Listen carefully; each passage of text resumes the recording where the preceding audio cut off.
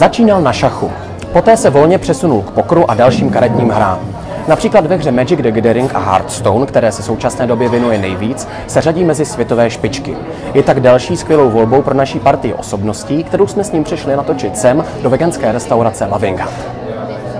Všechny mě naučili hrát rodiče společně. Ze začátku jsem spíš hrál s maminkou, ale tatínek hraje trošku líp, takže postupem času jsem začal hrát s tatínkem a když ani ten nestačil, tak pak jsem musel navštěvovat další kroužky.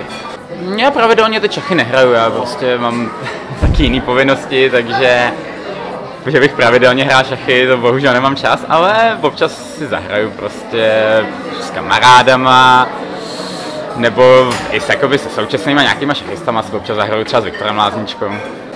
Šachu toho využiju strašně moc, protože já vlastně se živím tím, že hraju logické hry a ty šachy mi v tom strašně pomáhá, jednak tím, že ty hry jsou dost podobné a jednak tím, jakoby, že ty šachy vás naučí, jak se pohybovat v soutěžním prostředí, co je v životě jakoby důležitý pro to, abyste něčeho dosáhli, takže každému určitě doporučuji, aby svý děti naučil hrát šachy, strašně to do života pomůže.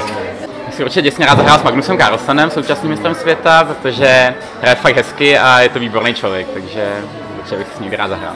Každý má jakoby talent trošku na něco jiného. Já jsem šachy jakoby hrával poměrně hodně i na celkem slušný úrovni, ale nebyl jsem jakoby tak moc talentovaný, abych jakoby dokázal se prosadit do té světové špičky a víc mě vyhovují hry karetní, takže já, pro mě osobně je třeba snažší tohle prostředí, ale zase spousta šachistů se snažilo známých prosadit v e-sportu a nepovedlo se jim to. Takže asi záleží, jakoby, jak je kdo na co talentovaný. To jako kdyby jste srovnávali, si je těžší házet oštěpem nebo hrát tenis. Je to prostě trošku podobný, ale zároveň něco jiného. Já provedu nějaký solidní tak, doufám a snad to moc neskazím. Děkujeme. Děkuji za pozvání.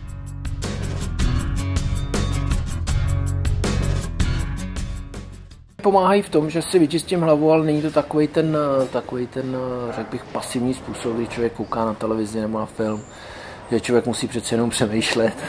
Já nejsem zase tak dobrý šachista, takže toho přemýšlení je tam míň, ale musí se člověk koncentrovat, musí chviličku myslet jenom na ty šachy, což je fajn.